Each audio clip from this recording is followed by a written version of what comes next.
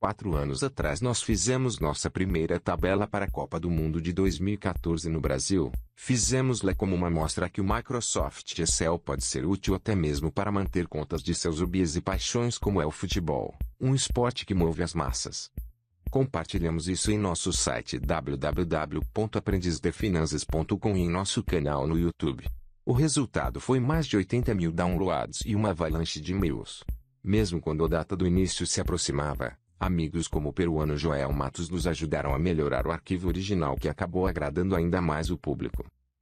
Hoje, depois de várias semanas de trabalho, apresentamos a nossa versão 2018. Tabela da Copa do Mundo Rússia 2018. Este arquivo contém 16 partes ou páginas.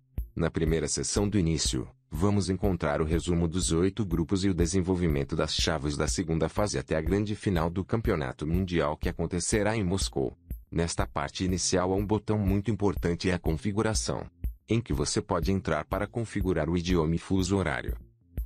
Para tentar alcançar ainda mais audiências, foi criada a versão 2018 da tabela com a possibilidade de ser configurada em seis idiomas: espanhol, inglês, português, francês, italiano e alemão. Além disso, para que não importe na região do mundo em que você se encontra, sempre tem a programação das partidas disponíveis. Esta versão contém mais de 100 usos de tempo que você pode configurar para que você tenha os horários dos jogos da Copa do Mundo claros. Do Havaí ao Alasca, toda a América, Europa, África, Ásia e Oceania podem definir seus horários, mesmo se você estiver nas remotas ilhas do Pacífico Sul. Primeiramente vamos olhar os menus abaixo. Neles encontraremos os grupos da Copa do Mundo de A até H. Em cada grupo temos a respectiva tabela de posições, os seis jogos correspondentes e a possibilidade de preencher os marcadores e jogar um pouco com previsões da Copa do Mundo.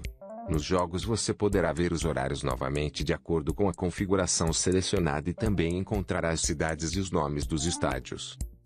Queremos esclarecer que as simulações feitas no vídeo são apenas um teste para verificar seu funcionamento correto. Em nenhum caso elas representam nossas previsões da Copa do Mundo. No entanto, desejamos o melhor para as equipes que representam nosso continente. Uruguai no grupo A, Peru no grupo C, Argentina no grupo D, Costa Rica e Brasil no grupo I, México no difícil grupo F, Panamá no G, e, finalmente, a equipe da Colômbia no H. Nos botões das rondas seguintes, como no caso das oitavas de final, encontramos as oito partidas a serem disputadas. Mais uma vez devemos preencher as informações manualmente. Observe vários aspectos do arquivo. Primeiro, no caso de ter um empate como resultado final após 120 minutos, observe como as caixas são abertas para preencher o placar dos penais. Como segundo aspecto relevante, você notará que, uma vez que um vencedor é definido em uma chave, será necessária uma cor verde para identificar quem foi o vencedor dessa etapa. Finalmente, temos as últimas três sessões. A sessão de equipamentos ou seleções onde a classificação geral da Copa do Mundo pode ser apreciada. Você também pode fazer a seleção de uma equipe em particular e o arquivo apontará essa equipe na classificação, além de nos ter um resumo completo das partidas disputadas por ele. Na seção de cidades e estádios você pode visitar as 11 cidades e os 12 estádios nos quais acontecerá a Copa do Mundo. Dê a si mesmo um momento para admirar a beleza das cidades russas e também os templos do futebol que receberão este feriado mundial.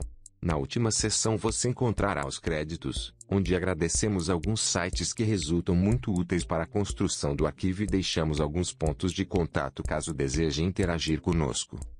Deixe-nos um comentário ou recomendação para levar em conta para futuros desenvolvimentos. Não sendo mais, eu convido você a baixar o jogo da Copa do Mundo de 2018 na Rússia.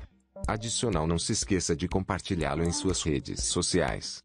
Lembre-se que o arquivo é totalmente gratuito. A ideia é que você goste e compartilhe com seus amigos, colegas no escritório, estudo, sua família e todos os seus entes queridos.